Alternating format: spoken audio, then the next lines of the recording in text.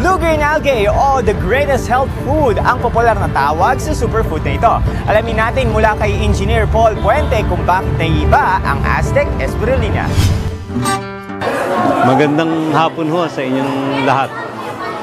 Kami ho ang gumagawa ng, ah, ng spirulina dito sa ating bansa, dito sa Pilipinas. Kami ho ang nag-pioneer dito ng spirulina. I hope alam nyo na ang spirulina ang isa sa pinaka malusog na pag, pang, pagkain at ah, food supplement na nandito sa ating bansa ngayon. Papaano nga ba nagsimula ang interes ni Engineer Napoleon Puente sa spirulina? Ang, ang spirulina nakatulong sa akin initially uh, when I tried it.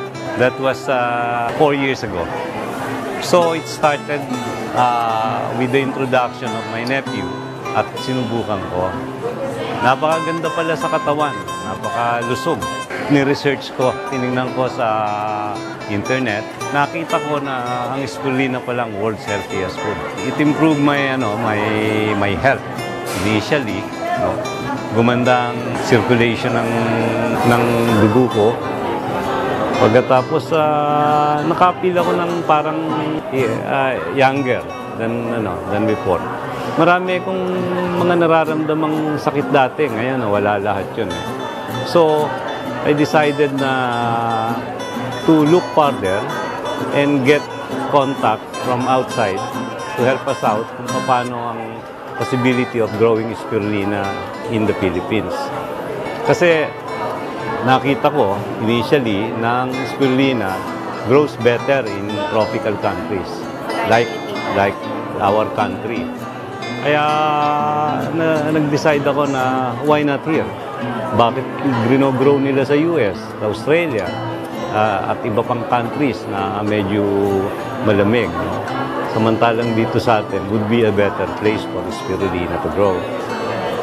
And secondly, walang nag-grow rito kasi masyado nga sophisticated at complicated rin ang process. We, we, we tried it initially with my wife with the help of uh, ano, coaching from ano, NGO from Europe na expert sa spirulina. We successfully grew uh, spirulina. Then we decided na maglagay kami ng maliit na pilot uh, ano, area where we can try growing it. It took us a lot of time improving the the the product, no? To make it uh, ano, a really good quality spirulina. Lately, we are producing spirulina even better than what they have in Australia, who claims the best. Ang makikita ho yan sa strain natin. Yung strain natin is fully coiled and once na once na itetest natin through laboratory and we have uh, the laboratory test to prove it, eh, we have a better quality spirulina than Australia and even Europe, other European countries.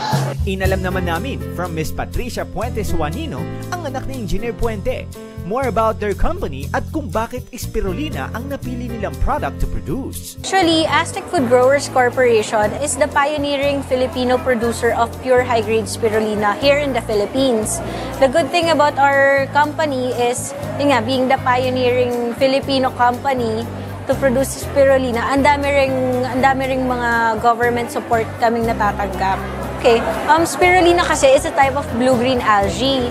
So if you're taking blue-green algae siya na they call it the green superfood. Why green superfood? Kasi 1 gram of spirulina or 2 capsules ng product natin is equivalent sa isang kilong gulay na, yung nutrients. So that's why ang spirulina natin, um, dito sa Philippines, nagiging in demand na rin. Kasi di ba ngayon, ang mga food hindi na very nutritious talaga. Just taking spirulina alone can suffice the nutritional na kailangan ng katawan. Locally made na siya. Tapos doon, ang maganda pa doon, yung kalidad ng, ng quality ng ginagawa natin dito is for international standards. It's pure high grade.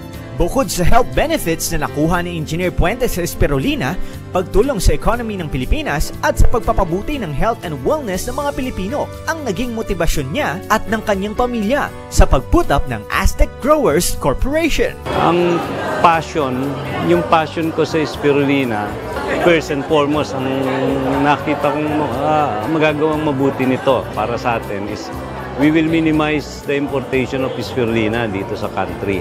So, maging self-reliant tayo sana sa spirulina. Yun ang first objective. Second is, it will help, help a lot of people, mga Pilipino. Yung health ng mga Pilipino, ma-improve natin yan if we will have it here. No? Hopefully, uh, yung price will be lower than what what is what is in ano, in other countries.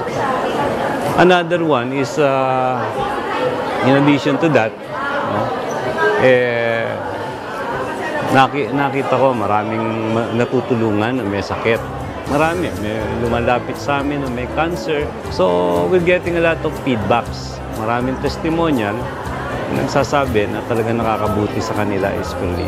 I believe uh, spirulina will help a lot of Filipinos to improve their health condition.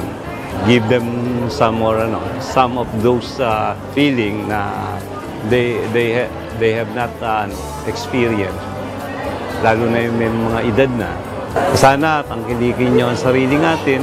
Kami maaabot nyo sa teleponong 477-2256. At kung meron kayong mga katanungan tungkol sa spirulina, anytime ho, available kami. We also conduct orientation sa mga gustong mag-dealer o magnegosyo tungkol sa spirulina. We offer that uh, business opportunity for everybody. Sana pangkiligin nyo Aztec Spirulina.